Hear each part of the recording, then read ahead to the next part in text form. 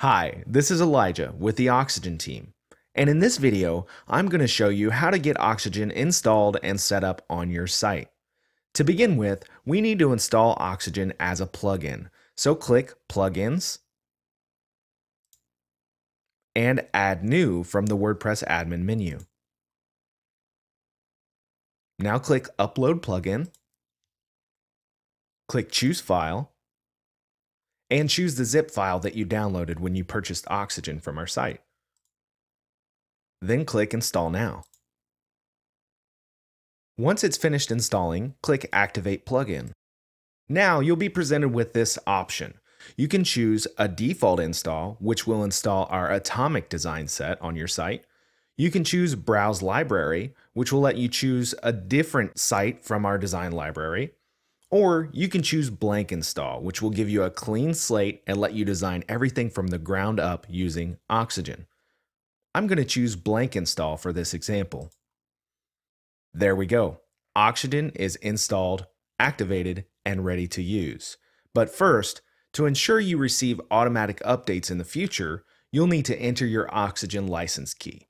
To do that, go to Oxygen in the WordPress admin menu and click Settings. Now click the License tab at the top. Here, you'll enter your license key and click Submit. Oxygen is now fully activated and ready to receive updates.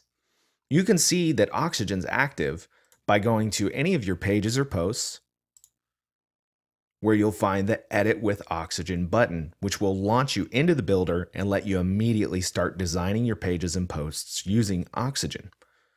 Alternatively, you can also set up a template structure by going to Oxygen, Templates. Templates allow you to create a design that applies either across your entire site or to specific posts or pages.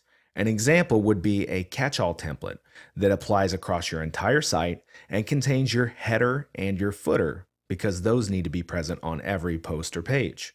Now, a lot of people ask, which theme is the best theme to use with Oxygen? And the answer is it doesn't matter. The WordPress theme system is entirely disabled when Oxygen is active. So you can leave whatever theme was active prior to installing Oxygen just like it was. It will not conflict or interrupt oxygen in any way. Finally, I would encourage you as a new Oxygen user to join our Facebook group, which you can find by searching for Official Oxygen User Group on Facebook. We have thousands of active and knowledgeable members that are glad to help out with any kind of question you might have when it comes to using Oxygen. Again, this is Elijah with the Oxygen team, and thank you for watching.